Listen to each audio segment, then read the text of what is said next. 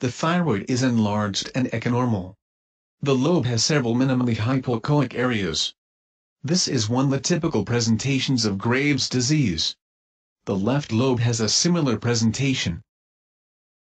Here we can see larger hypoechoic fields than in the right lobe but neither of them fits to a pathological nodule.